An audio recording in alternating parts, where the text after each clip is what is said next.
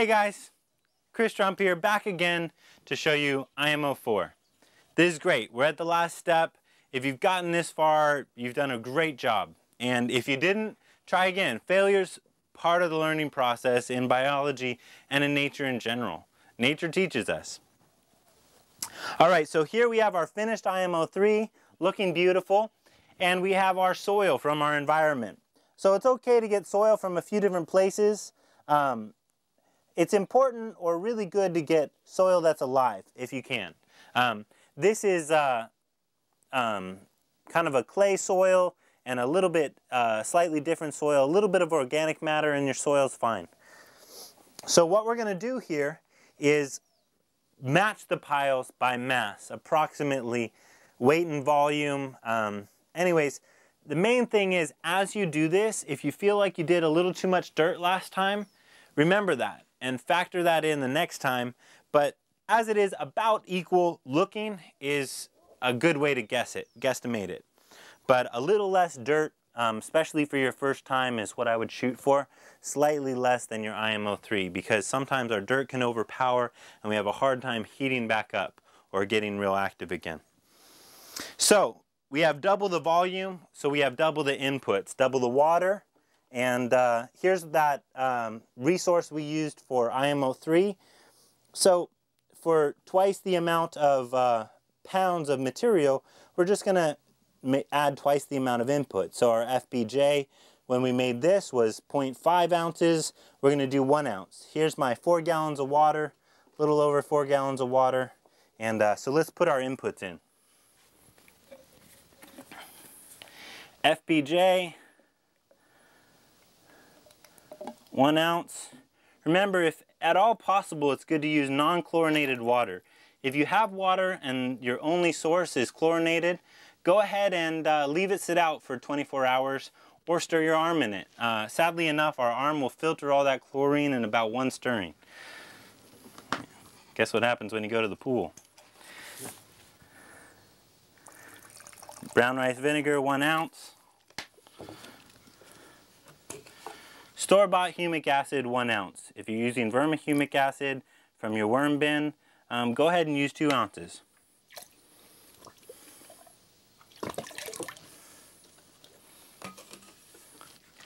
I'm using three-year-old OHN, so I use less.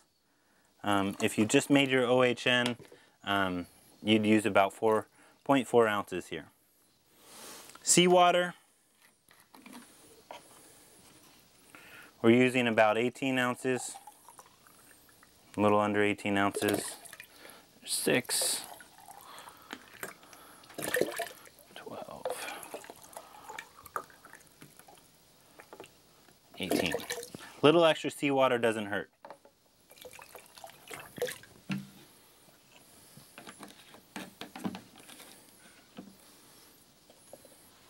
All right. Go ahead and stir that around just think so things get evenly distributed. Now one good way to do this um, is to mix it dry to get evenly turned and then add your water.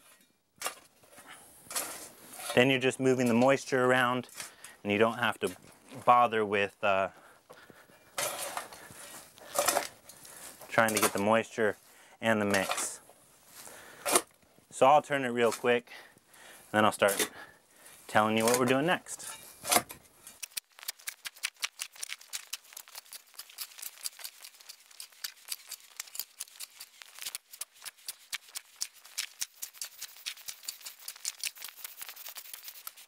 All right, so we've turned our pile.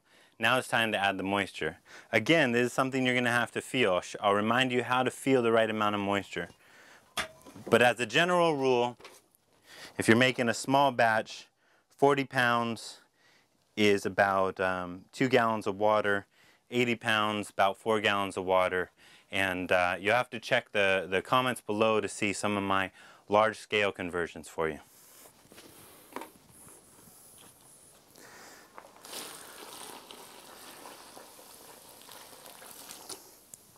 So I made a divot in the middle to give me the ability to turn this without all my moisture running away pretty helpful to get all those really nice inputs. And the dirt if it's super dry, will take a minute to get saturated. And sometimes, depending on your moisture and your environment, you're gonna need more or less water than I'm using right now. So you're gonna have to feel that out again in your environment. I'm giving you a guideline.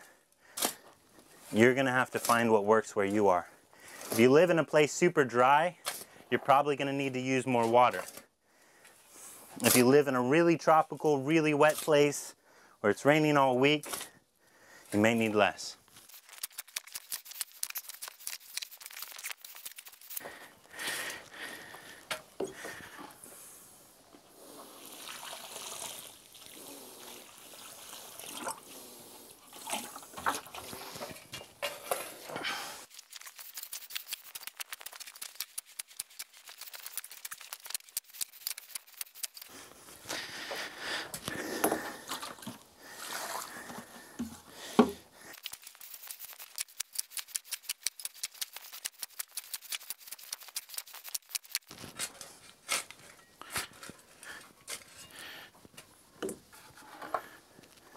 I am adding a little bit more of the nutrient than I originally planned.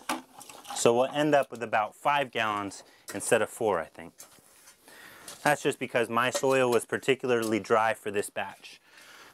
And that's what happens when it runs away from you.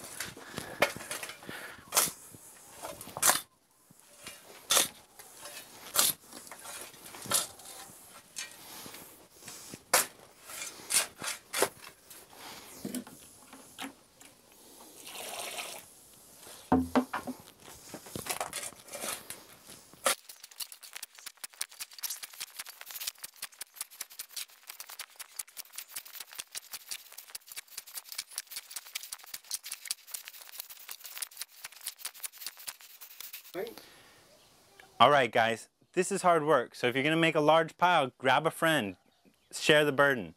If you're gonna make a huge pile, you might consider grabbing 10 friends because it's major. If you're gonna make a really big pile because you're a large farm, check out my videos on large scale natural farming. Um, I do this on 750 acres. I don't do it with a shovel. All right, so now what we have is uh, a bunch of IMO3 and dirt with plenty of moisture. I can squeeze a little bit of a drop out as I squeeze my hands. Um, and uh, it's what we want. So there's a little bit of a crack of moisture when I really press it, but I'm not getting, I'm not wringing a sponge out. This is gonna be great. And tomorrow and in a week, we'll see finished IMO. Now, IMO 5 is whatever you want to use IMO 4 to inoculate. IMO 5 can be manure that you have available on your farm, it could be wood chips, it could be your green waste, but you can use this finished biology when IMO 4 finishes to work with anything on your farm. So I'm not going to teach IMO 5 because the sky's the limit. You're going to have to figure out what you have and how you want to ferment it. So this is how to make IMO 4. We're going to tidy up our pile and uh, tuck it in for a week of brewing.